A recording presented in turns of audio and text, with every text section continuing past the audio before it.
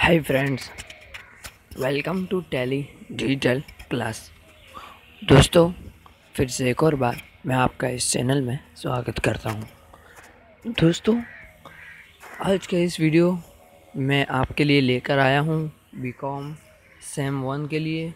All about जितने भी subject है, उसके कौन कौन से सब्जेक्ट है कौन सी बुक्स आपको लानी है, उसकी डिटेल आज के इस वीडियो लेक्चर में मैं आपको देने वाला हूँ। तो दोस्तों, चलिए शुरुआत करते हैं। शुरू करने से पहले, मेरी आपसे एक छोटी सी रिक्वेस्ट है कि अगर आपने अभी तक हमारे यूट्यूब चैनल को सब्सक्राइब नहीं किया तो जल्दी से सब्सक्राइब कर लीजिए और बाजू में आते बेल आइकन को भी दबा लीजिए, ताकि नए नए अपडेट्स आपको मिलती रहे। चलिए दोस्तों, शुरू करते हैं।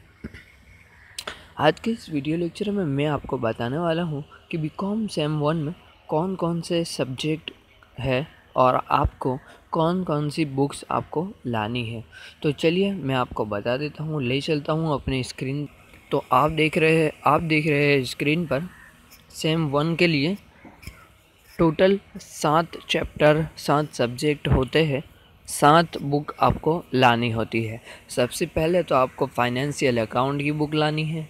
फाइनेंशियल अकाउंट में जो भी फाइनेंस के लगते हिसाब होते हैं, वो आपको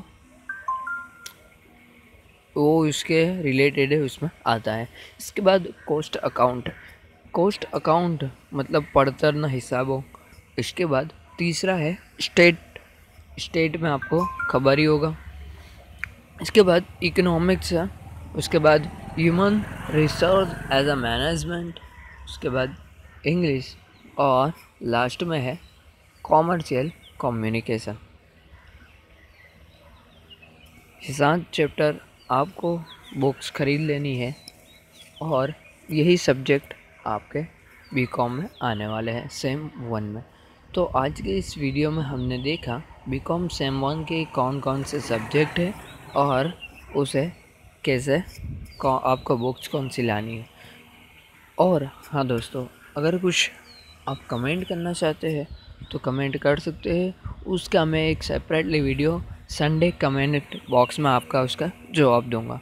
चलिए दोस्तों, मिलते हैं।